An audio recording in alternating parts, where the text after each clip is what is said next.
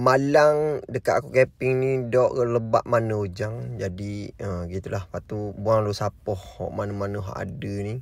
Tiap hari memang ada lah sapoh-sapoh. Jadi abang ni hok bersih di kawasan sekitar ni lah. Uh, mana-mana yang buang sapoh tu abang ni hok tolong kutip. Lepas tu pun pagi tu abang dia sapa di mari atau makanan. Macam biasa lah pagi-pagi abang dia atau makanan. Ni aku lu RM50 ni untuk benda. Ha, kata gini, bang. Kita nak bagi jok hari ni, bang. Ha, abang ambil RM50 ni, abang jaga kemoh kita. Dia kata, tak apa, boleh. Tak payah jaga pun. Abang buat kerja macam biasa. Tapi abang tu tengok-tengok je. Ha, kerja tetap kerja. Dia kerja tapi dia tengok ah, Ita. Kalau ada orang lalu ke benda kerja Ita. Ha, lepas tu dia pergi tanya. Ha, gitu je lah. Ia bukan kerja dan kerja dok. Aku upah you untuk tengok je. Lepas tu pun aku sarapan pagi dengan abadi. Abadi beli makanan ke aku. Lepas tu tiba-tiba aku tengah makan-makan. Abang ni aku tak tahu daripada mana. Mungkin follow aku kot. Dia mari atau makanan. Dia kata ambil ada apa-apa. Oh, lepas tu dah mari ya duduk, duduk, uh, duduk dulu makan. Lepas tu dia kata dia lewat nak pergi kerja. Oh bagus sungguh abang ni. Siapa kenal tolong bagi tahu kot siapa dia tu. Oh, lepas tu pun memang bagus sangat. Lepas tu aku tengok merang jalan kat dia. Bukan pok merang, merang. Lepas tu pun Lepas balik abang tengok tadi tu, mari pula abang ni mari melawak kemah tengok. Lepas tu, lepas tu mari pula kak ni, oh, ramai mari pagi ni. Lepas tu pun abang ni balik, lepas tu pun kak tu mari, lepas tu pun Oh, dua, tiga, empat keluarga kau mari pagi ni untuk tengok kemah kau ni. Oh, mari. Lepas tu pun abang nak terah tarik. Serang, serang, serang tarik. Oh, tarik lah. Apa ni. Uh, ni adik, uh, adik iyah gemuk ni. Gerang eh.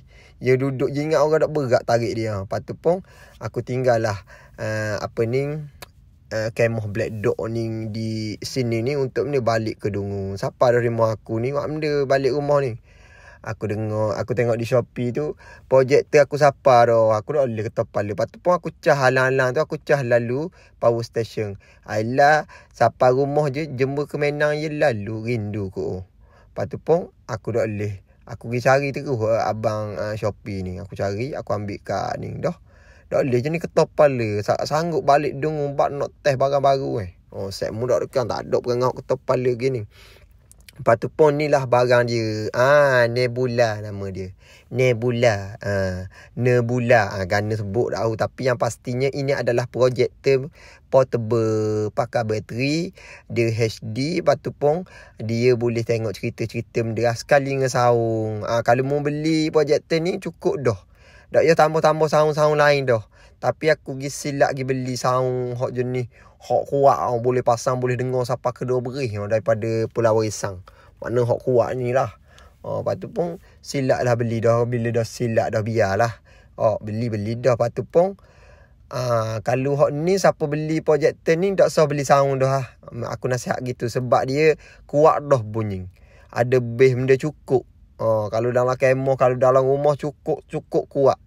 Oh dia ada kiri kanan speaker dia. Ah, ni lah jenama Nebula. Aku tengok review dulu sebelum aku beli ni. Lepas tu orang tanya ri berapa harga dia. Oh, harga dia RM2,299. Ah, lepas tu pun ni apa tu aku kena sebut molek kan anggorang tak boleh kat gigi orang kata dosa pula kan. Lepas tu pun aku test lah dalam rumah umi aku. Aku test buka Uh, kita tarik jauh undur ke belakang dia lagi besar skrin. Uh, dia syak je. Kalau tarik ke belakang syak je. Lagi besar. Lagi tarik belakang lagi besar.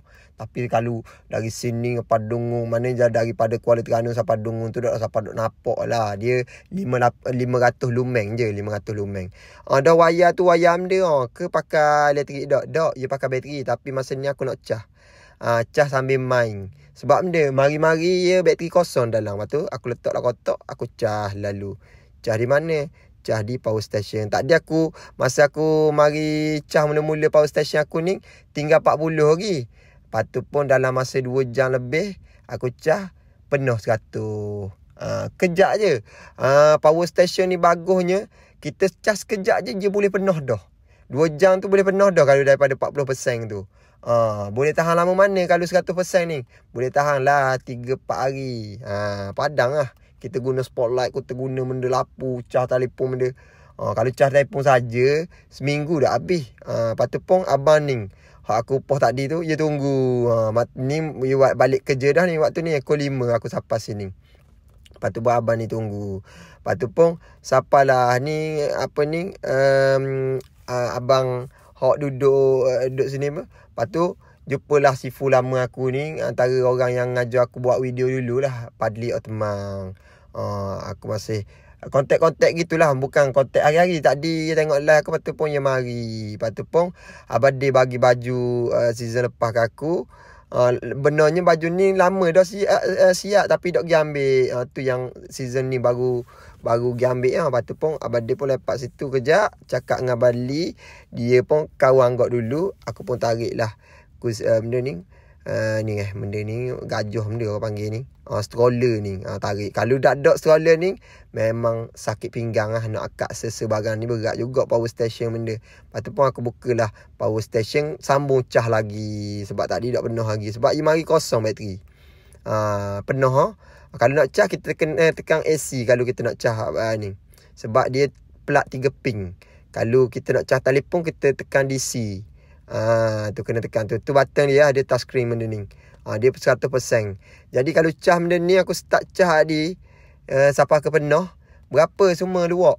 Ah semua sekali luak 70 uh, 7% sahaja daripada 100% tak dicah. Lepas tu pun petang tu abade mari bawa anak-anak ya. Lepas tu pun mainlah dengan anak aku sambil-sambil anak abade study sebab dia periksa kan. Duduklah tepi tu sambil belajar dengan mak dia. Lepas tu Aila pun macam buat perangai.